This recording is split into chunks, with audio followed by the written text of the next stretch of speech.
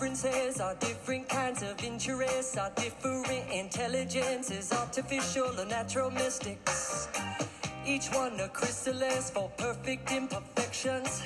And we are limitless, cause spirit lives inside us. Mother Nature did us a favor, gave each one of us a different flavor. Different rhythms, different faces, different incarnations are crazy. Some want to make some noise, some want to hear the silence, some want to drive.